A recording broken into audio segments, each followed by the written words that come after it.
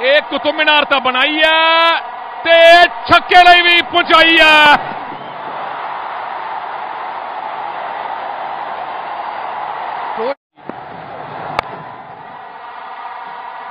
David ਨੇ Dwarka metro station ਪਹੁੰਚਾਤੀ ਗੇਂਦ।